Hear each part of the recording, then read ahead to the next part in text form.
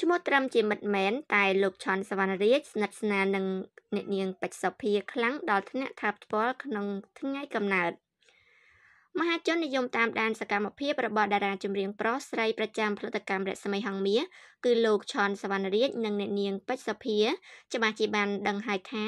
ចាទំនាក់ទំនងចាស្និទ្ធស្នាលរបស់អ្នកទាំងពីរពួកគេចារាប់អានគ្នាស្ទើរតែដូចបងប្អូនទៅហើយ ក្នុងនោះគេបានសង្កេតឃើញថាលោកឆនសវណ្ណរាជនិងអ្នកនាងពេជ្រសភាមិនត្រឹមតែមានភាពស្និទ្ធស្នាលក្នុងការងារនោះទេ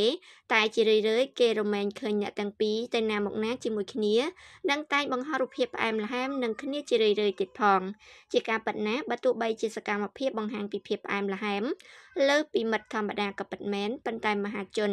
បានចម្លែកចាមិនបានចម្លែកក្នុងចិត្តឡើយដោយអ្នកទាំងពីរត្រឹមតែជាមិត្តល្អនិងបងប្អូនល្អនឹងគ្នាប៉ុណ្ណោះព្រោះកន្លងមកនៅពេលដែលអ្នកទាំងពីរជួបមានបញ្ហាអ្វីនោះម្នាក់ម្នាក់តែងតែបង្ហោះសារលើកទឹកចិត្តផ្ដល់កម្លាំងចិត្តឲ្យគ្នាជានិច្ចម្យ៉ាងវិញទៀតអ្នកនាងពេជ្រសុភាក៏មានលោកឈឹមសក្តា